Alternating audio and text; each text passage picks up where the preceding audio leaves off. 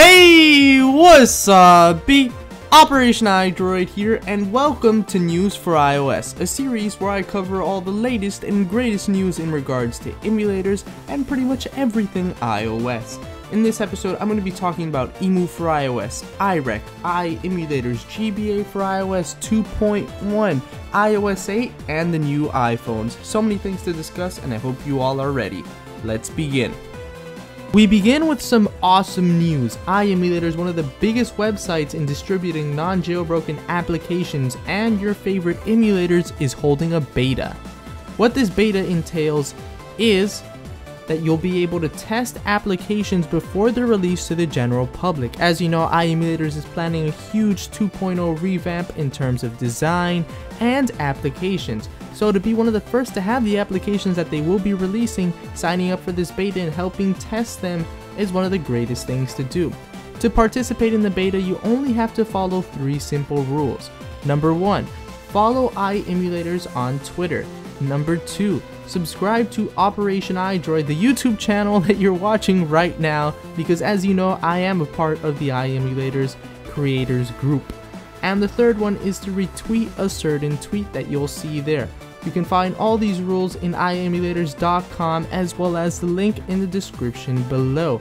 I hope you guys are excited for this beta and that you follow all the rules to participate because if you do not, you will not be eligible for the beta.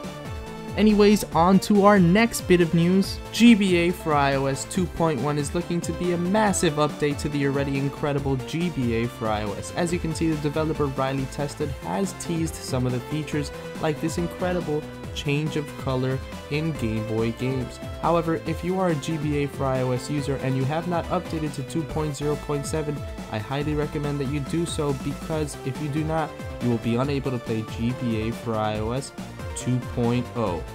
And if you update to this, you'll see a nice little feature that will be coming soon, which is wireless linking that we hope to see in GBA for iOS 2.1. Continuing with the theme of GBA for iOS, the iPhone 6 and 6 Plus came out today the day that this video was released and I made a video showcasing how amazing GBA for iOS is on an iPhone 6. On to some more unfortunate news. EMU for iOS.net's distribution certificate has been revoked, meaning that if you try to open the EMU for iOS store and subsequently all its applications, they will not open unless you apply the date trick like GBA for iOS. So, for those of you that don't know, the date trick is basically where you set your date back at least 24 hours and then you open the application and of course it will open. If you ever find your EMU for iOS store or any other applications from the store not opening, all you have to do is set your date back at least 24 hours and open it once and then you can set your date back to normal.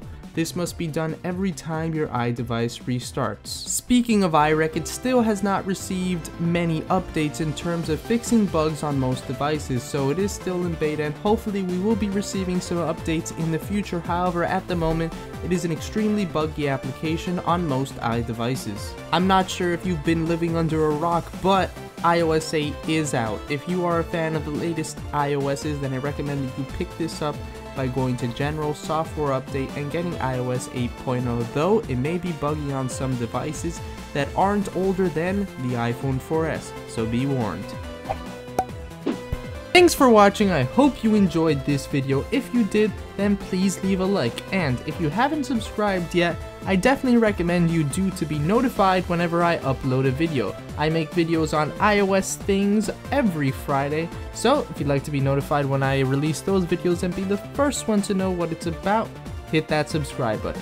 Thanks for watching, thanks for subscribing, and welcome to the operation.